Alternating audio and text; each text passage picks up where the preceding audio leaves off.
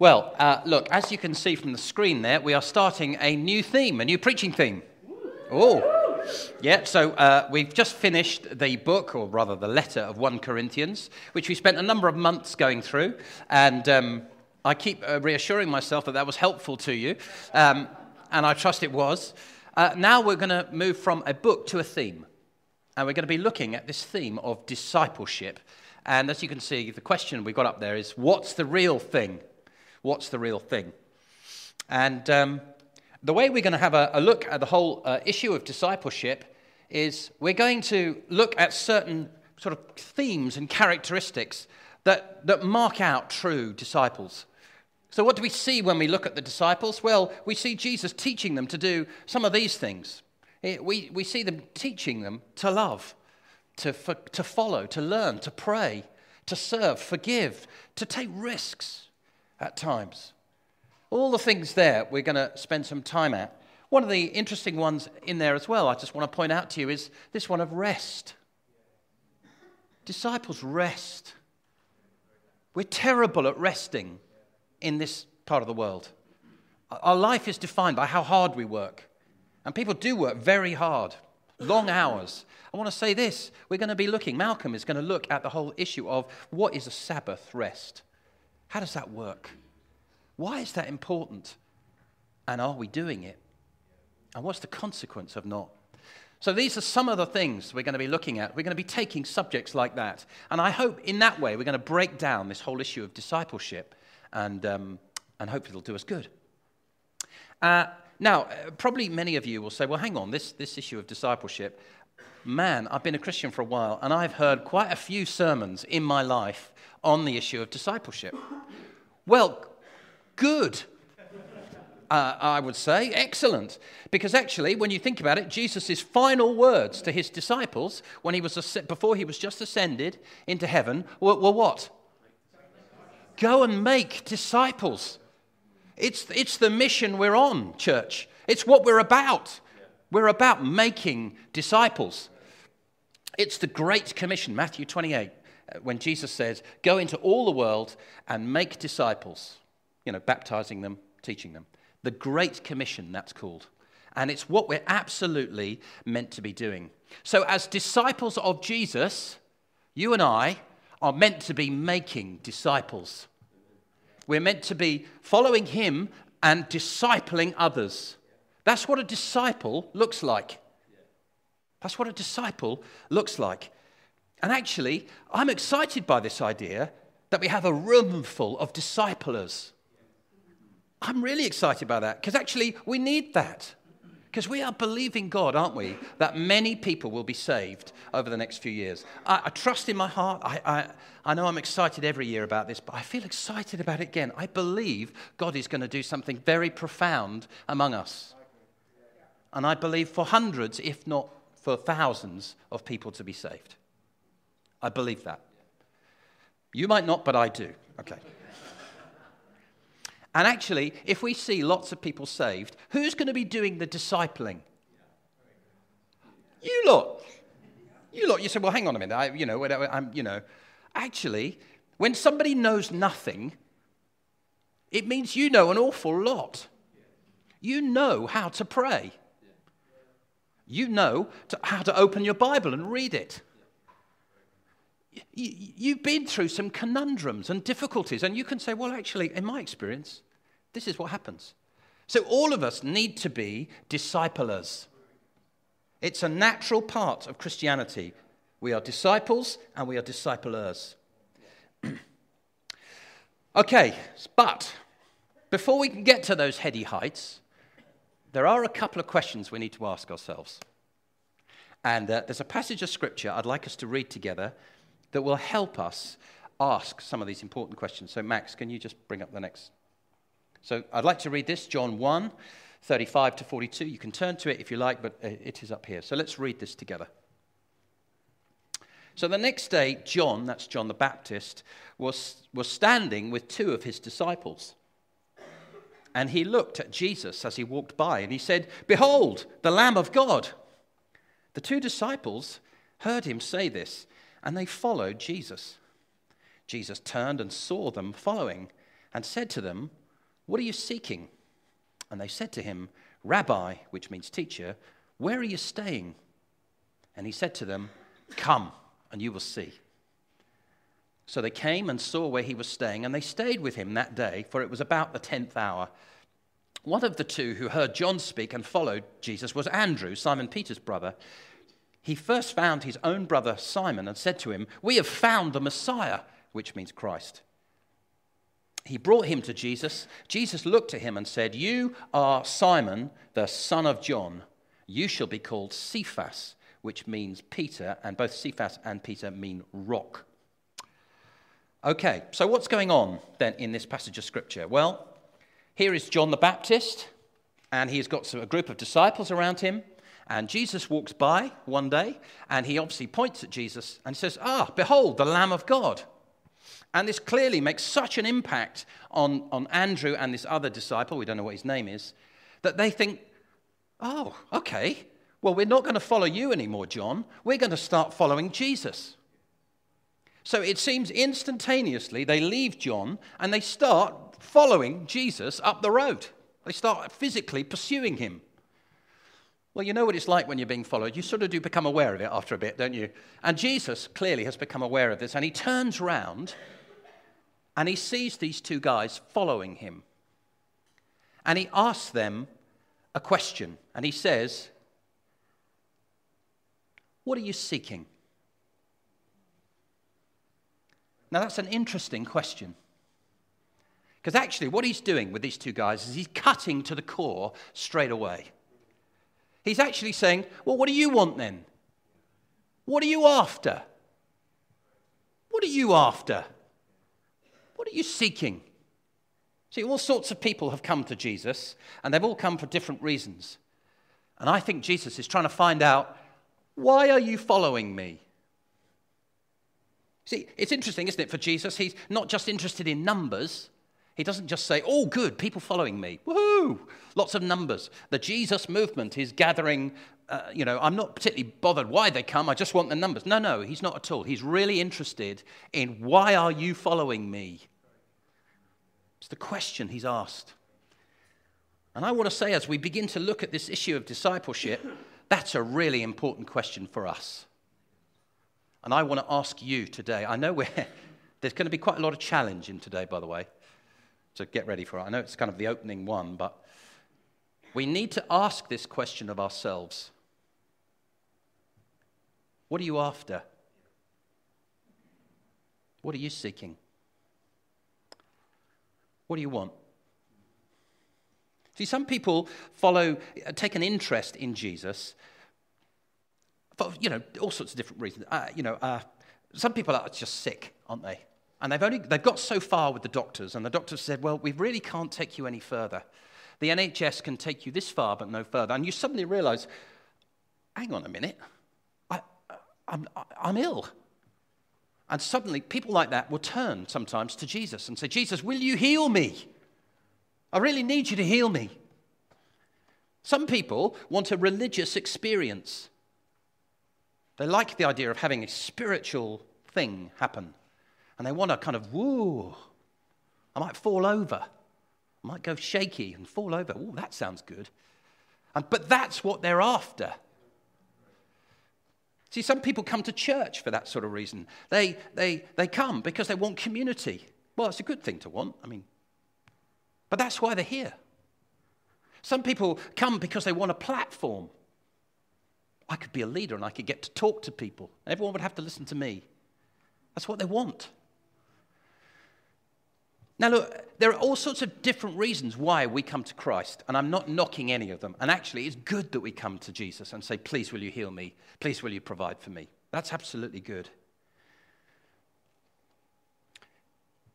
But actually, being after God for something doesn't necessarily make you a disciple It just probably makes you a bit desperate and you don't know where else to go. Well, it's a good place to go to God.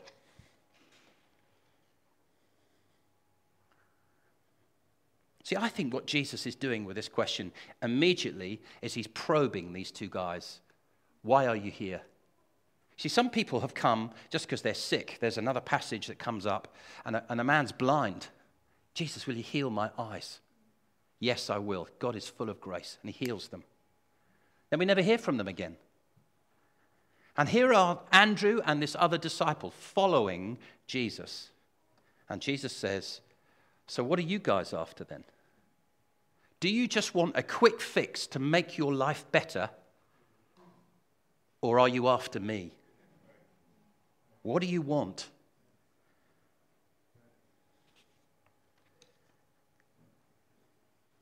Well, their reply shows what they're really after. Because they say this, don't they? Max, can you click it for me? Rabbi, where are you staying? Well, see, that says a lot. Where are you staying says, says no, I'm not after a quick fix to a problem. I, I want to get to know you. I want to come and live with you. I want to get below the surface with you. I, I want to find out what you're like. You know, I want to chat with you. I, I, you are the one that's interesting me. And also, when they say rabbi, what they're saying is, I recognize you're the teacher. Therefore, I am the student. I want you to teach me. So they're saying two things here. I want to get to know you genuinely, and I want you to teach me. I think that sums up the heart of what it is to be a disciple. A disciple of Jesus wants those two things. We want to be taught by him, and we want to get to know him genuinely, beyond the superficial. That's what disciples look like.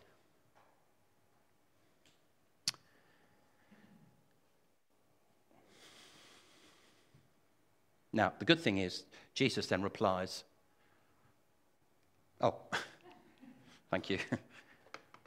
Come and you will see. So, the good news is today, if you want to be a disciple of Jesus, Jesus would say to you, Yeah, you can be. Come with me, and you can have it. You can see what I am genuinely like. You can find that out. You can know me, and I will teach you.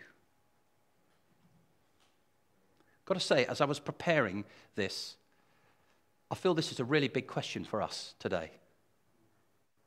Which one do you want? See, some of us live our Christian lives like God is a kind of fix it God that we put in our pocket. And when we get into trouble, we live our lives and then we get into trouble and we say, God, help, help, help. I need your help. I'm really frightened, or I haven't got any money, or what are you going to do about this? And God, of course, is gracious and helps us. And then we say, Thank you very much. Put it back. I'm going to get on with my life now until the next trouble. And then we go, Oh, God, help, help, help. I believe some of us have lived our Christian lives like that. But you see, Jesus is after disciples. These are people who every day will say, I want to know you and I want to be taught by you. I believe the question that God wants to, it's a bit of a moment in God here for some of you, I think. Which one do you want? You see, one, to be honest, is a bit immature. It's what children do. I want this, I want this, I want this. Oh, I've got it now. Right, bye. I'm off now. Thank you. I've got to go and play with my friends. I'm going to live my life over here until the next time I need, Mom, Mom, I'm hungry, I'm hungry. Some of us live like that. We live our Christian lives like we're young children. I believe God is asking today Will you step up to the plate? Will you become my disciple? I will bless believers. Because, and people would come to Jesus and he would give them things. He'd give them their sight. They'd be frightened about their children. God would rescue their children. He poured out blessing, and He will continue to pour out blessing because He's good. But Jesus is looking for disciples. Church, will we be disciples? Or will we just be beneficiaries? What do you want? See, one requires a bit more maturity. It requires you to be more steadfast. It requires you to say, No, I'm going to step up. No, I'm your disciple every day. And of course, there are consequences to being a disciple. I'm not going to kid you. It means when you go into the office sometimes and they say, Right, we're all going to look at porn today, you've got a decision to make. Or when they say, uh, Oh, could you, your boss says, Look, just lie to him, will you? Just tell him I'm not around. You've got another decision to make. You'll have to say, Do you know, sorry, I can't do that. And there'll be times when people will say, Why not? What's wrong with you then? You think you're superior? You'll get yourself into trouble because you're a disciple. It comes at cost being a disciple. It's not easy. I'm not going to give you a great, you know, soft sell on being a disciple, but you will get to see the glory of God. You will get to see Him. You know, Jesus is talking to his disciples once and he says, To you, the secrets of the kingdom have been made known. Doors get open for you when you're a disciple. You get to know him when you follow him. I'm not going to move on quickly because I feel this is the main question God wants to ask. Might just have a moment.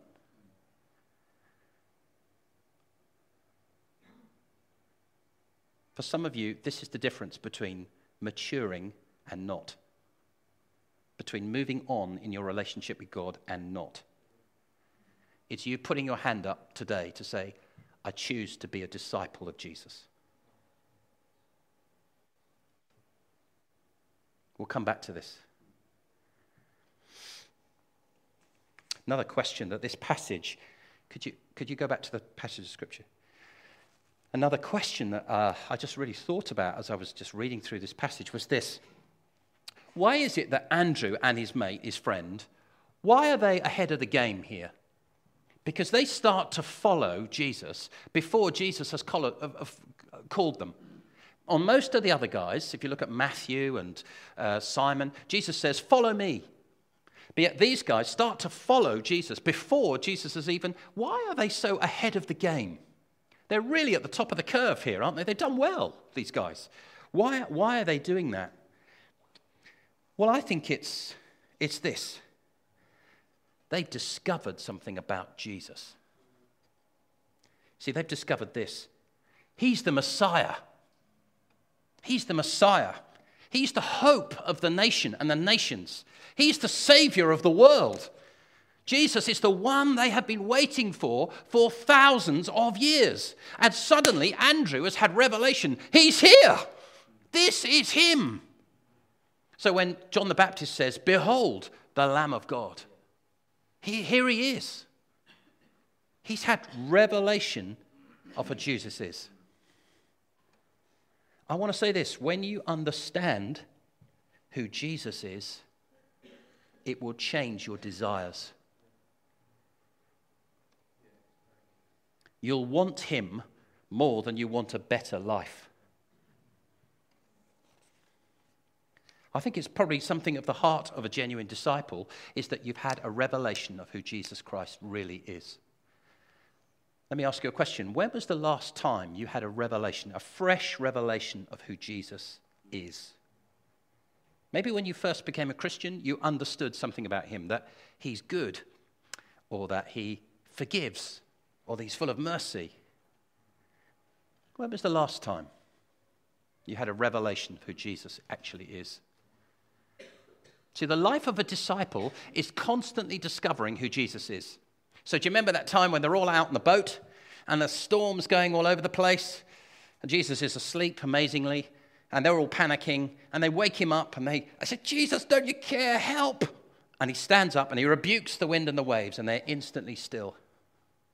And they, the question they ask afterwards is, Who is this? Who rebukes the wind and the waves? Even the wind and the waves, are, they've had a revelation there about who Jesus is. They've discovered something about his awesome power and authority. And they've gone, oh, Whoa, I didn't know that about you. That's what discipleship is like. We constantly have revelation of who Jesus is. We are constantly learning. You are supreme. You are awesome. You are tender. You are loving. We don't know this stuff at the beginning. It's okay if you don't know it. It really is. Because God's got us on a learning program called discipleship. And He wants to bring revelation to you consistently.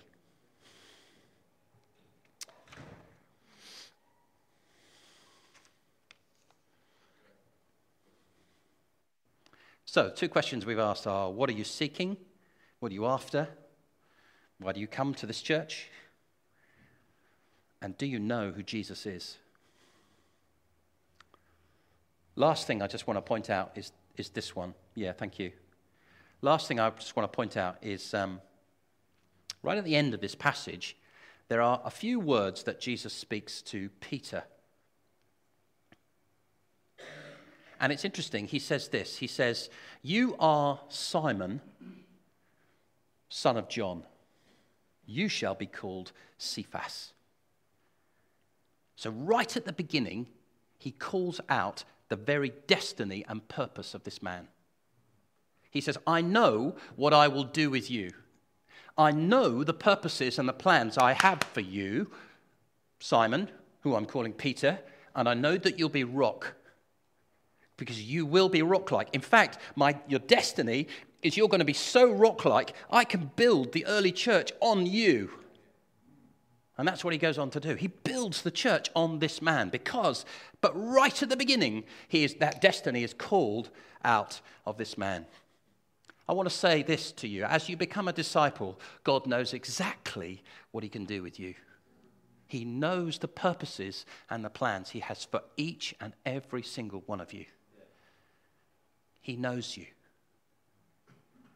And the other thing about this is that he also says, and I know what you're like right now. Because he says, You are Simon, son of John. I know your history. I know where you came from. I know what you're like. I know your dad. I understand the life that you've lived. I understand problems that you've had. I know the, the, the, the issues you fought your way through. You are Simon, son of John. I know who you are, but I know what I can do with you. See, many of us disqualify ourselves because of our current present. We say, You don't know what I'm like. You don't know the difficulties I've endured. You don't know how rotten I am. You don't know, you don't know the stuff that goes on in my head. I mean, you know, if my wife knew, she'd divorce me. Man, it's just grim. No, he knows who you are. You are Simon, son of John. I know you completely, and I know what I can do with you, and it's beyond what you imagine for yourself. I feel God would say that to us right at the beginning. Disciples, I know you. Some of you are fearful of letting him down. You back away. You say, Well, I can't because look at me. He knows you he still calls you into discipleship to be his.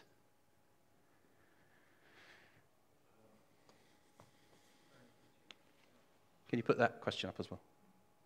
So that's the issue. Don't rule yourself out. Don't say, I can't be a disciple. Oh, yes, you can. He knows you completely. I'd like us to respond to some of this. So let's pray together.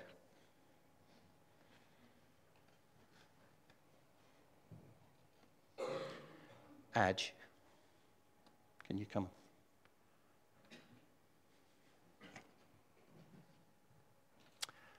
Okay, we're going to pray together, and um, I'm going to just work my way through these three questions, and I'm going to ask you to respond. Okay? So if you want to respond, I'm going to ask you to stand up, and then we're going to pray for you at the end. So if you know that you are someone that wants to freshly commit themselves to being a disciple of Jesus. If you know that maybe in the past you have been a bit immature in your relationship and you kind of run to him when you've needed problems, that's not a bad thing. But he is now calling you on to say, No, I want you to be a full time disciple of mine. If you know you say, Yeah, I want to freshly commit myself, not to just being a believer and a receiver, but I now want to be a disciple of his. I'd like you to stand up, please.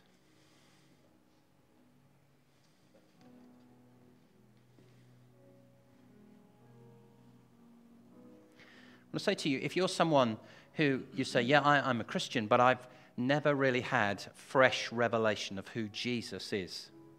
Like these disciples, you know, they found out who he was, fresh aspects of who he was. And if you think, actually, I know I'm a bit dry, and I just, I can't remember the last time I thought, yeah, I've suddenly realized something about Jesus. If you would like a freshness in that, and you would like God to speak to you again, I'd like you to stand up as well.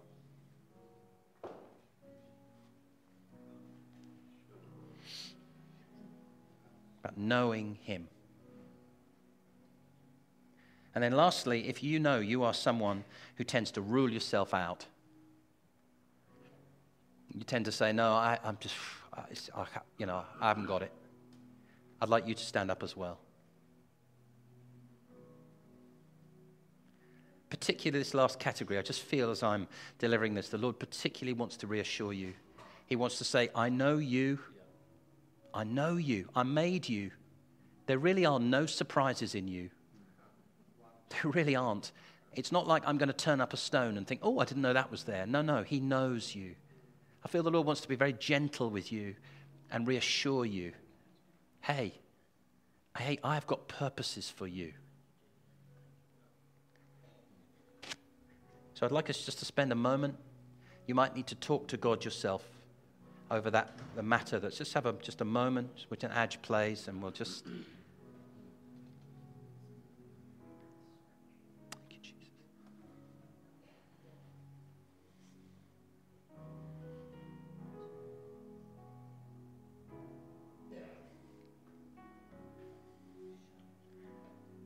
So, Jesus, I pray now for those who have decided they want to be disciples of yours, who want to follow you daily. I ask, Heavenly Father, that you would bless them and strengthen them. I ask, Heavenly Father, you would help them to walk with you daily, Lord, and to be yours. I pray for maturity, actually, and I pray for a love for you to grow that just instinctively, every day, they would turn to you and just say, Lord, I need you. where are we going today? Lord, I pray that you would teach them your ways. And I pray, Heavenly Father, they would get to know you and love you. Find out what you're like, as it were, behind closed doors.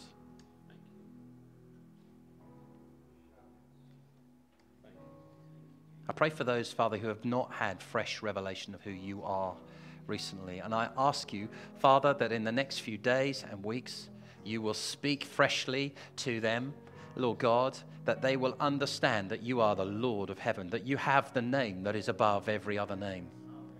That is that name.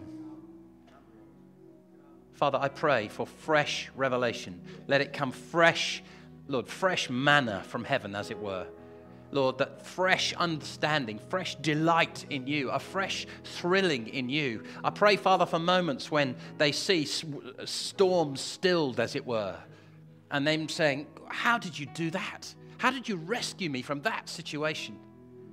God, I pray for fresh revelation because we are your disciples. And then, lastly, Father, I pray for those who rule themselves out. I want to ask you that you would reassure them that you know them.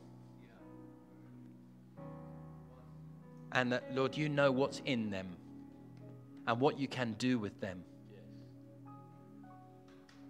So, Father, freshly now, all of us just come to you to say, We love you. Lord Jesus, we honor you. We recognize that you're in the business of making disciples and making us into disciplers. So we commit ourselves freshly to that purpose, freshly to you, O oh God. Holy Spirit, would you come freshly right now? Would you come and fill? We can't do this on our own, Lord. We really can't do this. It's not about effort, just we can respond, Lord, but we need you now to breathe on us. So, Holy Spirit, breathe freshly on everyone, everyone that's here. Those that have stood, those that are sitting, meet with them, Lord, I pray. In the name of Jesus. Amen.